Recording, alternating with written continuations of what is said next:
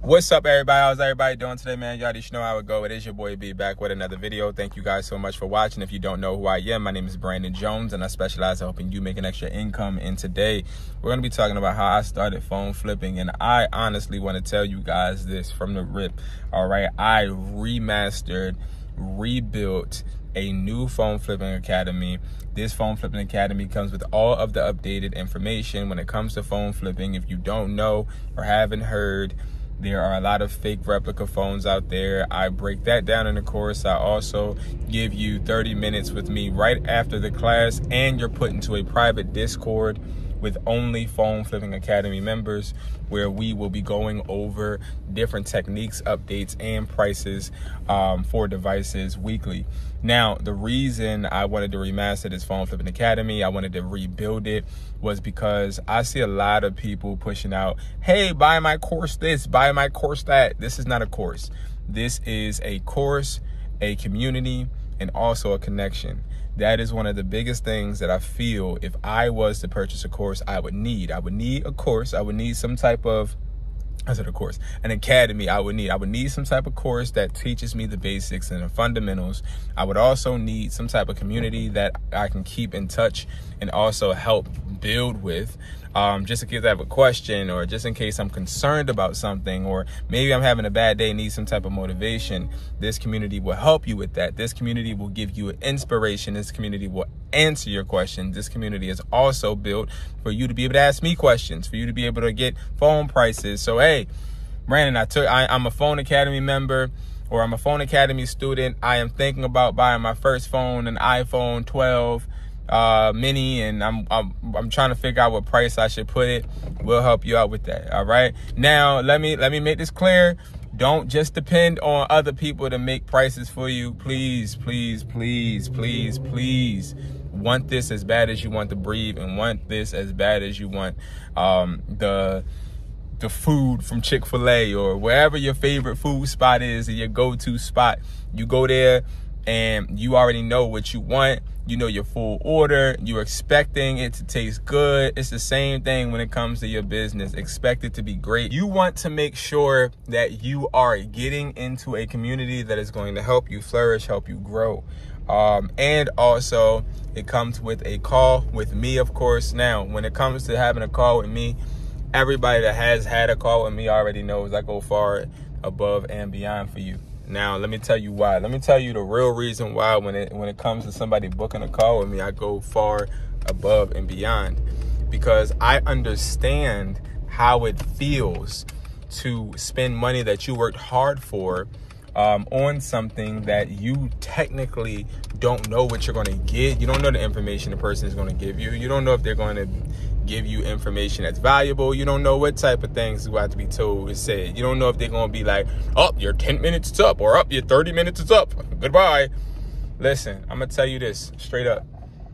I am somebody that when you book a call with me, I understand your investment. When you buy any type of product from me, I understand your investment. So I try to make sure that I am responsible with making it make sense for you, tailoring it to um, you specifically, and also building you up as much as I can. I should be going the other way. I'm gonna go the other way. Excuse me, y'all.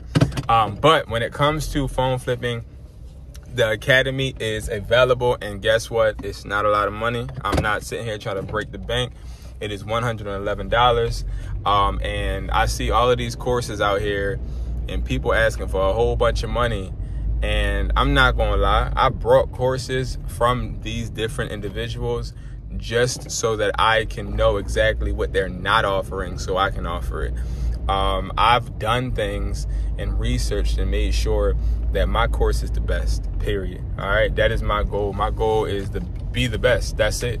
Okay, I like doing what I love, but also being the best at it. I don't want to do it half ass, you know?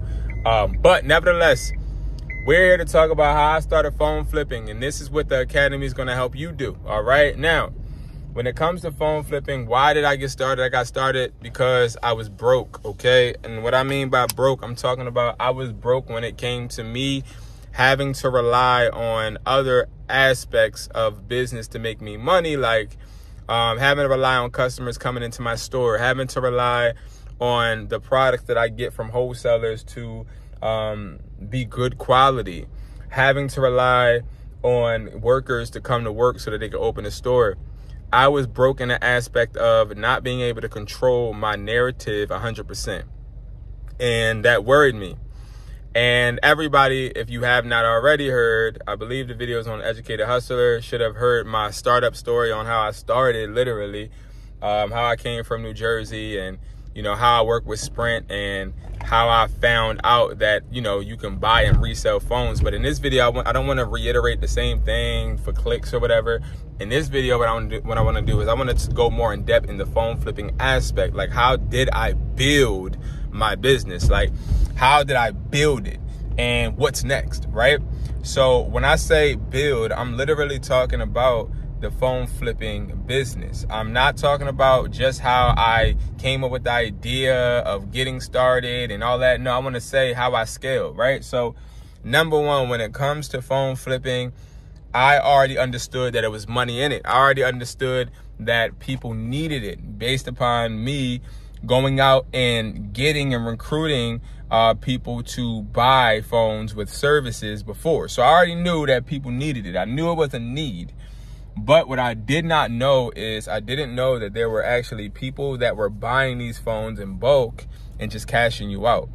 Did not know that. I thought that I would have to find a consumer, which is fine too.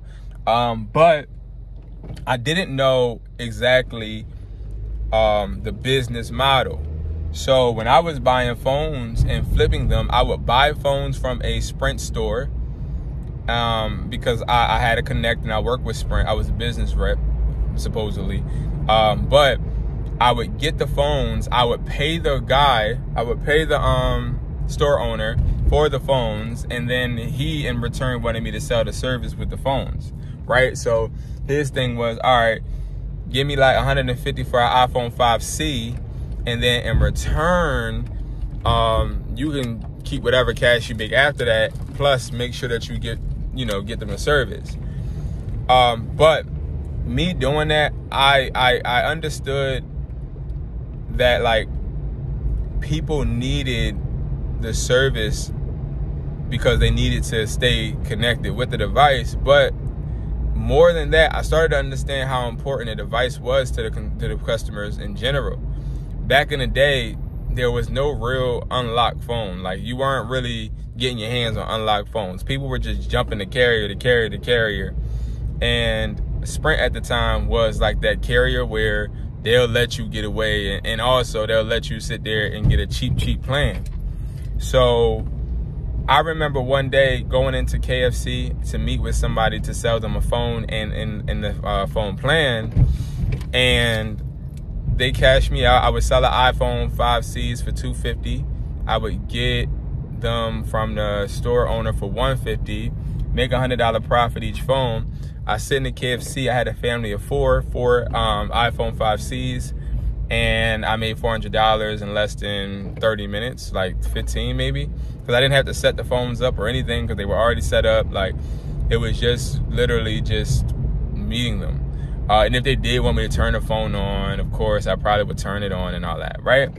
Now, it was at this moment when I made that $400 in 30 minutes, I understood, like, okay, people really want these phones. Like, these phones are really, really good um, as far as profit. Like, for me to make a $100 each device, I can only assume what the store owner was getting them for. That was like my mindset. So, boom I was selling this service, but I was understanding I wasn't getting compensated for it. Like he wasn't paying me on how much I, how many people I got for the service. Like if I'm getting you activated with service, my brain thinks automatically, oh, this company is getting paid every month, right?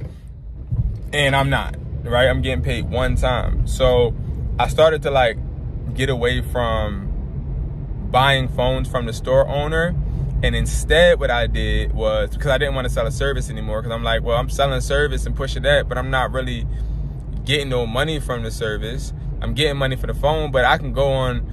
It wasn't offer up at the time. It was like um, it may have been offer up and let go, but I can go on let go or offer up in Facebook, and I can go ahead and buy a phone literally that is for Verizon and just sell the phone straight out to the customer and not have to worry about selling them service. But it also makes my customer base more wide and more broad. Like I, I, I would be able to access more customers, and that's the way I was thinking of it. So what I did was I went an offer up, and I got my first phone. I offered somebody some money. They said, yeah, I got the phone. The phone was locked. I posted it right back on OfferUp. It took me about a day or two to sell. I sold that phone. Just took the other customer's um, SIM card from out their old phone, put in a new phone, and that's it. That was all. Like it was, it was easy peasy lemon squeezy, right? So me knowing that and that happening, I was cool with it. I was like, okay, well, um, now I could do Sprint, I could do Verizon, I can do AT&T. Those are like the major carriers at the time. It wasn't no Xfinity. So I'm like, I could do those and I'll be good. Boost Mobile. So I'm like, cool. Like now I got a huge customer base and I'm not being micromanaged and I don't have to sell no service because like here's the thing with selling service. With selling service, when their phone gets cut off, they at you. When they have some type of issue or they're not happy with with um the drop calls, they're at you. They're coming at you. They're not coming at the store owner. They're not coming at the store. They're coming at you. And that was like the that was the negative at the the whole service portion is that like I had to literally do customer service and I wasn't getting paid for it. So once I started to see that I could effectively start to um, buy phones and then just sell them to consumers, I kept doing it and I kept repeating. I got real good at it. I lost a lot of money sometimes because I made bad deals. I'm not trying to make it seem like I did the best of the best because I didn't, right? But what I did do is I was able to learn that this was possible. Like I could do this for income. Okay. So as I learned that, I was like, all right, bet this is what I'm finna do. I am going to keep doing it, and then I'm gonna bring such and such in. So I ended up, uh, I I said such and such, but such and such is another rep. I, I just thought to myself, I just need to get more people. If I scale this and I get more people to sell phones for me, then I mean buy phones and then sell them for me to consumers it's a win, right? So what I did was I sat there and I put up a post on Instagram. It was called Connect Wireless. And with Connect Wireless, I would have people literally um, apply doing with a Google, it was a, a Google form thing on, on, a link in my, I think it was Instagram at the time, a link on my Instagram. They would fill out an application. I would call them, do an interview. And all they would do is literally they would know what inventory I had and they would go out and they would either try to sell phones I already have or I hired people to go and hit offer up, but I would only hire people in different states. So I would have three people in Philly, but two different like they would have different locations. West philly north philly south philly. Then i would have somebody in jersey north jersey south jersey. Then i would have somebody in delaware. And then i started to have a whole bunch of people in different places. Now how was i paying them? Straight commission so like they were getting paid per lead they gave me that converted so if you were on OfferUp in delaware and you were getting you got me a phone and i, I brought the phone i would pay you maybe ten dollars, five percent of whatever you know I, I got it for, and they were able to make money doing it, and I was able to make more money just by having more people finding me leads.